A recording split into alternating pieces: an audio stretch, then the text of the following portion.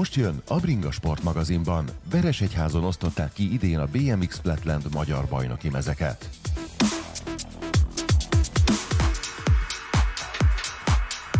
Nemzetközi versenyt szervezett a Veresegyházi Sportzón Egyesület, amelynek keretében a magyar bajnoki mezeket is kiosztották. Többen érkeztek Nagy-Britanniából, Csehországból, Spanyolországból, valamint Horvátországból, és természetesen rengeteg magyar versenyző nevezett az eseményre. Az elit versenyzőknél a bíróknak nem volt könnyű dolga a pontozással, hisz az indulók nagyon közel voltak egymáshoz tudásuk tekintetében, és a stílusbeli különbségek is csak fokozták az értékelés nehézségét.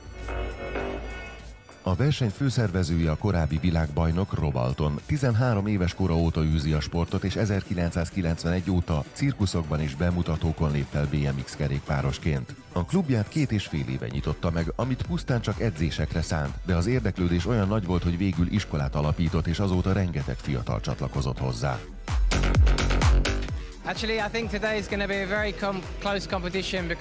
A klub maga nem csak a fiataloknak fontos, hanem ennek mentén az egész sportág kicsit ismertebb lehet. Az idejáró fiataloknak sokszor a szüleik is kedvet kapnak és bringára pattannak, ahogy más sportágakban mi is szenvedünk az utánpótás hiánytól. A mai profi kerekesek 20 év körül vannak, és utánuk egy nagy űrtátong. Ezen próbálunk a magunk lehetőségeivel is segíteni itt Veresegyházán, mert hát a BMX bekerült az olimpiai programban, valamint UCI világbajnokságot is rendeznek, így nagy perspektíva van van ebben a sportban. Igazán nézőbarát, hiszen nagyon látványos. Rengeteg fajta stílus van, és a szülők is nagyon örülnek a gyerekek sikerélményének. A gyerekek sokat tanulnak a koncentrációról, mert ennek a sportnak az az alapja. Így egy igazán komoly készségfejlesztés a számukra. Őszintén szólva nem a legkönnyebb sport, meg kell küzdeni az eredményekért, de nagyon megéri.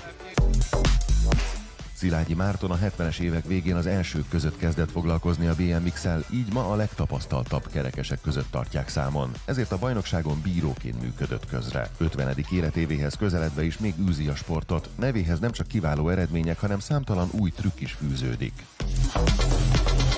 A tapasztalat az, hogyha valaki elkezd BMX-ezni és szorgalmasan csinálja, ami mondjuk tegyük fel, hogy napi két-három órát ki tud menni gyakorolni akkor, akkor azért kell egy-két-három év, mire olyan szintre el tud jutni, hogy akkor versenyeken már tud indulni, akkor már nem kell szégyenkezni, amiatt, hogy ott esetleg gyengébbek a trükkjei, és, és onnan pedig gyönyörűen lehet tovább építkezni, amikor megvannak az alapok. Én is ezt csináltam, a kezdetektől fogva szerelmes vagyok ebbe a sportba, mai napig ezért nem is tudtam abba hagyni, most még hobbi szinten biciklizek, kimegyek gyakorolni hetente két-három alkalommal, vagy ahogy éppen az idő engedi, és, és próbálok még egy kicsit itt tovább építkezni, újabb trükköket kitalálni, meg a régieket megtartani. Az elit kategóriában legjobb magyarként abszolút harmadik helyezésével Szájer Gergely diadalmaskodott. Őt követte a pódiumon Miklósi Péter, a harmadik Vitákovics Fülöp lett.